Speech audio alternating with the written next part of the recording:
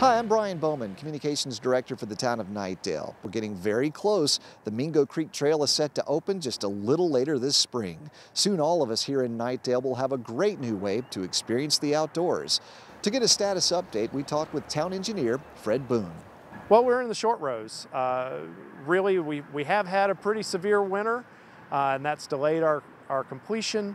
But uh, as soon as the weather warms up, all we really have is some paving and a final section of boardwalk left to go, and uh, those are very weather dependent.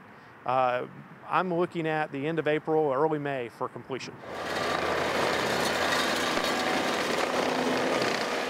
Well, you can expect about two and a half miles of greenway, which connects into the greater Neuse River Greenway Trail system, which offers you more constructed greenway. Uh, and from Falls Lake Dam down to here, it's about 17 miles of continuous greenway that you can use for biking, walking, jogging, just taking in nature.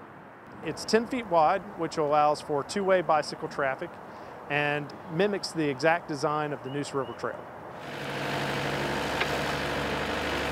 About two-thirds of the trail are, are asphalt trails, uh, with about a third being uh, raised pedestrian boardwalk.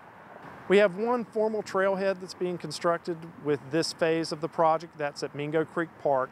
And it offers a uh, essentially a, a, parking lot that you can bring your vehicle and take your bike off your rack or just park it and walk. Uh, there are a couple of other uh, secondary access points to the trail, but those are generally from neighborhoods to the trail.